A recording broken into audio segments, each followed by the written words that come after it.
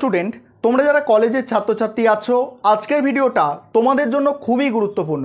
আজকে তোমাদের কলেজের সেমিস্টার সংক্রান্ত কিছু গুরুত্বপূর্ণ তথ্য নিয়ে আলোচনা করব। আজকে যে বিষয়গুলো নিয়ে আলোচনা করব, দেখো, এক নম্বর হচ্ছে এক্সাম টাইম অর্থাৎ তোমাদের কলেজের যে ছটা সেমিস্টার আছে, সেই ছটা সেমিস্টারের পরীক্ষা কখন হয়ে থাকে সেটা নিয়ে আলোচনা করব। দু নম্বর আলোচনা করব পাসিং মার্কস অর্থাৎ তোমাদের কলেজের পাঁচ নম্বর কত আছে? অর্থাৎ সেমিস্টারের পাঁচ নম্বর কত? সেটা নিয়ে আলোচনা হবে। তিন নম্বর হচ্ছে সাপ্লিমেন্টারি সিস্টেম অর্থাৎ কলেজে কোনো একটা বা দুটো সাবজেক্টে তুমি যদি কোনো সেমিস্টারে ফেল করে যাও, যে তোমাকে সাপ্লিমেন্টারি যে পরীক্ষা দিতে হয়, অর্থাৎ আবার পাস করতে হয় পরীক্ষা দিয়ে, সেই সিস্টেমটা কি আছে?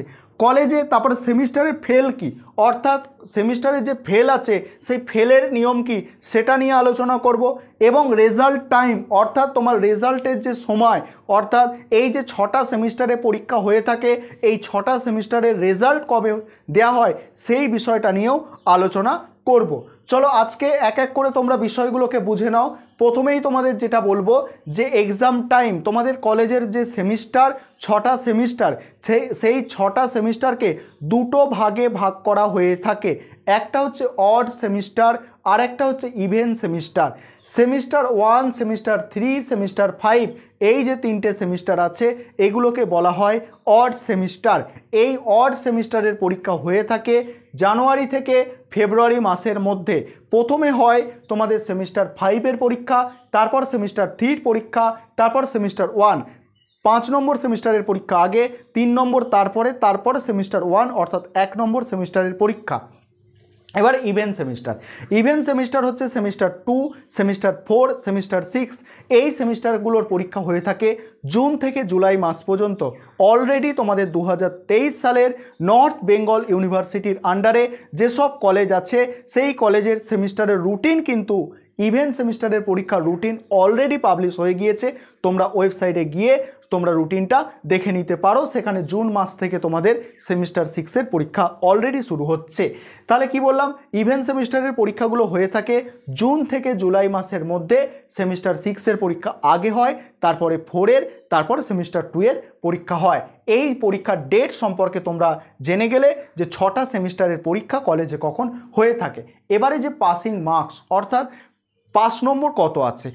যে কোনো সেমিস্টার, অর্থাৎ এই যে ছটা সেমিস্টার আছে, এই ছটা সেমিস্টার এক একটা সাবজেক্টে, অর্থাৎ সাবজেক্ট পিছু তুমি যদি জেনারেল কোর্সের ছাত্রছাত্রী হয়ে থাকো, অর্থাৎ পাস কোর্সের ছাত্রছাত্রী হও, তাহলে তোমার পাস নম্বর হচ্ছে থার্টি পারসেন্ট, অর্থাৎ তিরিশ শতাংশ তুমি লিখিত পরীক্ষায় নম্বর পেলে পাস করে যাবে। এবারে বিভিন্ন ইউনিভার্সিটির আন্ডারে প্রশ্নপত্রের নম্বরও কিন্তু আলাদা রকম হয়। কোনো কোনো ইউনিভার্সিটির আন্ডারে, যেমন ক্যালকাটা ইউনিভার্সিটির আন্ডারে পঁয়ষট্টি নম্বরের লিখিত পরীক্ষা হয় তোমরা যারা স্টেট স্টেট ইউনিভার্সিটি আছো, ওয়েস্ট বেঙ্গল স্টেট ইউনিভার্সিটি, পঞ্চাশ নম্বরের পরীক্ষা হয় গৌরবঙ্গ ইউনিভার্সিটি, পঁয়ত্রিশ নম্বরের লিখিত পরীক্ষা। এই যে লিখিত পরীক্ষা, এর থার্টি পার্সেন্ট মানে কুড়ি পেতে হবে, পঞ্চাশের থার্টি পার্সেন্ট পনেরো, আর পঁয়ত্রিশের থার্টি পার্সেন্ট প্রায় সাড়ে এগারো বা বারো, এরকম কিছু একটা হয়ে থাকে। তাহলে এই নম্বরগুলো পেতে হবে তোমাকে জেনারেল কোর্সে পাস করতে গেলে, অর্থাৎ পাস মানে জেনারেল কোর্সের যেসব সাবজেক্ট থাকে, সেগুলো হচ্ছে থার্টি পার্সেন্টে পাঁচ নম্বর এখানে বলে রাখি এক্ষেত্রে কোনো কোনো কলেজ যেগুলো অটোনোমাস কলেজ আছে, অর্থাৎ স্বশাসিত কলেজ আছে, তাদের কিছু স্পেশাল নিয়ম থাকতে পারে। তাদের থার্টি ফাইভ পার্সেন্টও তারা কোনো কোনো কলেজ চাইতে পারে পাঁচ নম্বরের ক্ষেত্রে, ঠিক আছে? তোমাদের কলেজে যদি কোনো কলেজের পাস জেনারেল কোর্সের ছাত্রছাত্রীদের পাস নম্বর পঁয়ত্রিশ পার্সেন্ট হয়ে থাকে, তোমরা কমেন্টে অবশ্যই জানাবে। এবারে অনার্সের ছাত্রছাত্রীদের কথায় আসি। অনার্সে জেনারেলভাবে অর্থাৎ সাধারণভাবে তুমি থার্টি পার্সেন্ট যদি পেয়ে থাকো পাস অর্থাৎ পরের সেমিস্টারে তুমি যেতে পারবে। তবে অনার্স যদি টিকিয়ে রাখতে চাও, তোমাকে ফর্টি পার্সেন্ট নম্বর কিন্তু রাখতে হবে। ফর্টি পার্সেন্টের বেশি নম্বর তোমাকে রাখতে হবে, এটা খেয়াল রাখবে।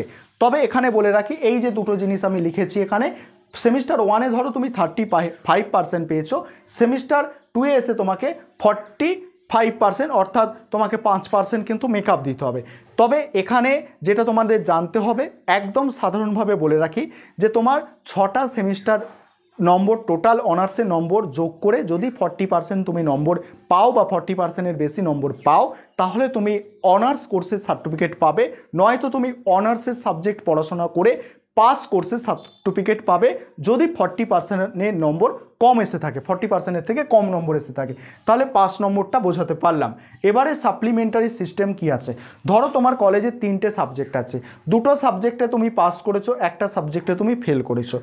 যে সাবজেক্টটায় তুমি ফেল করবে, সেই সাবজেক্টটায় কি হবে? সেই সাবজেক্টটা তোমাকে পরের বছর যখন ওই সেমিস্টারের পরীক্ষাটা হবে, সেই সেমিস্টারের পরীক্ষা দিয়ে পাস করতে হবে। ঠিক আছে? অর্থাৎ কলেজে ফেল বলে কিছু হয় না। ফেল বলে হয়, কখন ফেল বলে হয় সেটা বলছি তোমাকে। আগে বোঝো যে এই যে ব্যাপারটা আছে, কোনো সেমিস্টারে একটা বা দুটো সাবজেক্টে তুমি থার্টি পার্সেন্টের নম্বর কম পেয়েছ থার্টি পার্সেন্টের থেকে কম নম্বর পেয়েছ, সেক্ষেত্রে কী হবে তোমাকে? সেই সাবজেক্টগুলোকে কিন্তু আবার পরীক্ষা দিতে হবে। যদি তুমি সেমিস্টার ওয়ান বা সেমিস্টার থ্রি বা সেমিস্টার ফাইভে কোনো সাবজেক্টে সাপ্লি পেয়ে থাকো, তাহলে তোমার পরীক্ষার সময় এটাই থাকবে জানুয়ারি থেকে ফেব্রুয়ারির মধ্যে। আবার তুমি যদি semester two, semester four, semester six অর্থাৎ ইভেন সেমিস্টারে কোনো সাবজেক্টে একটা বা দুটো সাবজেক্টে সাপ্লি পেয়ে থাকো, তাহলে তোমার পরীক্ষার ডেট থাকবে জুন, জুলাই মাসে।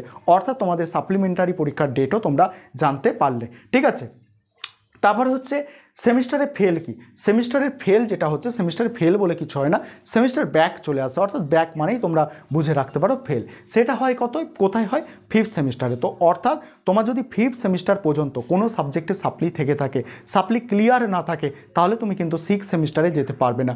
বিষয়টাকে ভালো করে বোঝার চেষ্টা করো এবং তোমরা যারা থার্ড সেমিস্টারের ছাত্র ফোর্থ সেমিস্টারের ছাত্রছাত্রী আছো সেমিস্টার টু এর ছাত্রছাত্রী আছো, তোমাদের তো পরীক্ষা এসে যাচ্ছে, তোমরা ভালো করে বিষয়টাকে বোঝো এবং পড়ার চেষ্টা করো যাতে সাপ্লি না এসে যায়। সাপ্লি এসে গেলে কিন্তু খুব সমস্যা। কারণ তোমার ফিফ ফিফথ সেমিস্টার পর্যন্ত যদি কোনো সাবজেক্টে সাপ্লি থেকে থাকে ফিফথ সেমিস্টার পর্যন্ত সাপ্লি ক্লিয়ার না থাকলে তুমি কিন্তু সেমিস্টার সিক্সে যেতে পারছ না সেমিস্টার সিক্সে পরীক্ষা দিতে পারছ না।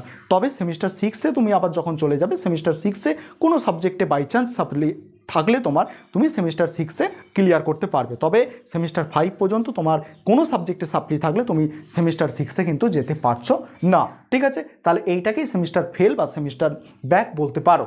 এবার রেজাল্ট টাইম তোমার অড সেমিস্টারের পরীক্ষার রেজাল্ট যেগুলো হয়, সেগুলো সাধারণভাবে এপ্রিল থেকে মে মাসের মধ্যে পাবলিশ করা হয়। সেগুলো হচ্ছে সেমিস্টার ওয়ান সেমিস্টার থ্রি এবং সেমিস্টার ফাইভের রেজাল্ট এটা হচ্ছে এপ্রিল থেকে মে মাসের মধ্যে পাবলিশ করা হয় এবং কোনো কোনো সেমিস্টার কোনো কোনো ইউনিভার্সিটির আন্ডারে যে কলেজগুলো আছে, অর্থাৎ নর্থ বেঙ্গল ইউনিভার্সিটি এদের রেজাল্ট কিন্তু একটু আগে পাবলিশ করায়। কারণ পরীক্ষাটা আগে হয়, আবার Bardhaman university Kalyani university Calcutta university ঠিক আছে? বিশেষ করে কল্যাণী এবং বর্ধমান ইউনিভার্সিটি এগুলোর রেজাল্ট একটু পরে পাবলিশ করা হয়, অর্থাৎ একটু সময় বেশি লাগে। সাধারণভাবে তোমরা জেনে রাখো এপ্রিল থেকে মে মাসের মধ্যে পাবলিশ করা হয়। অড সেমিস্টারের রেজাল্ট, অর্থাৎ সেমিস্টার ওয়ান, সেমিস্টার থ্রি এবং সেমিস্টার ফাইভের রেজাল্টগুলো। এবং তোমরা যারা ইভেন্ট সেমিস্টারে পরীক্ষা দেবে, তোমাদের রেজাল্ট পাবলিশ হয়ে থাকে কবে?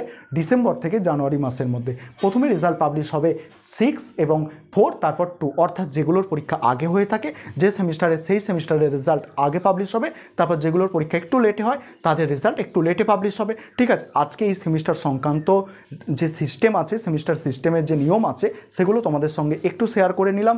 অবশ্যই ভিডিওটা যদি ভালো লেগে থাকে, চ্যানেল সাবস্ক্রাইব করে সঙ্গে থাকবে এবং নিজেদের বন্ধুবান্ধবদের মধ্যে শেয়ার করে তাদেরও বিষয়গুলো জানার সুযোগ করে দেবে।